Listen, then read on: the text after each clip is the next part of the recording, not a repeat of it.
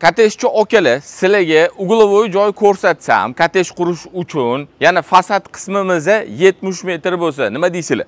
Joylashgan joyi ham yaxshi joyda bo'lsa sergeli tumani xonobodda xonobod tepa masjidi bu yoq tarafimizda bo'lsa 11 12 metro orientir. Yana zo'r tarafi bilasizlarmi? Mana mana shu territoriyamiz bor-ku fasadi 70 metr угловой joy. Shunda orqamizda borib xonoboddagi yangi uchastkalar qurilyapti-yu. O'sha tarafdan bo'lyapti. O'sha yangi uchastkalar tarafga ulab bitta chiroyli idealniy kottejniy городок qilib yuborsanglar bo'ladigan joy. Bu joyimizni yana ровный 54 sotix угловой ya'ni угловой bo'lgani bilasizlar-yu har taraflama yaxshi e, ikki yon taraflama uch yon taraflama bemalol ko'cha qilib yuborsanglar bo'ladi. Undan tashqari передомовой territoriyamizni qaranglar kattaligini. Bu yoqga ham bemalol chiroyli yashil maydonlar qilib foydalansanglar bo'ladi.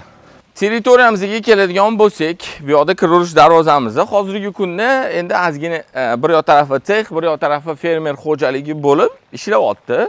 Endi bu joy manimcha ro'paramizni mahalla-ku o'shanga katta kottejni городок qilish kerak. Endi может kimdir agar ishlab chiqarishga olaman desa ham ishlab chiqarishga ham yaxshi taklif. Mana bunaqa o'zini binosi bor. Oldi tarafda bitta binosi bu yon tarafimizda bitta bino keyin kirishimiz bilan ro'paramizda bitta binoyimiz joylashgan va kirganimizda o'ng qo'limizda bo'lsa bitta binoyimiz joylashgan.